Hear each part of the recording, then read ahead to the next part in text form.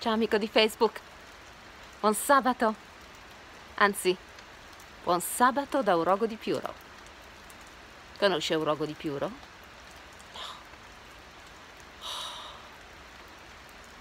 Impossibile! È un posto stupendo, meraviglioso. Devi venirci. Siamo a Santa Croce di Piuro.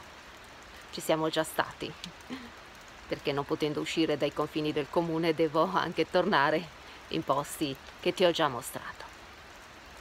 Però qui ci, eh, ci tenevo, ci tenevo a tornare, perché la chiesa di San Martino, dove siamo ora, è bellissima. È una delle mie preferite. È di epoca romanica, XI secolo, e di quell'epoca rimane il campanile a cinque piani di finestrelle bifore, la parete settentrionale e una parte di quella meridionale. E rimangono anche gli affreschi, preziosi, del Valagussa di Civate. Raffigurano scene del Vangelo di Giovanni.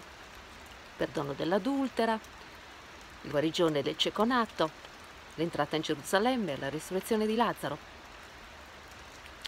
Ma che a me piace moltissimo di questa chiesa è la pala, la pala dell'altare, dedicata a San Martino è cinquecentesca e raffigura appunto San Martino che taglia una parte del suo mantello, il pallium, e lo dà al povero.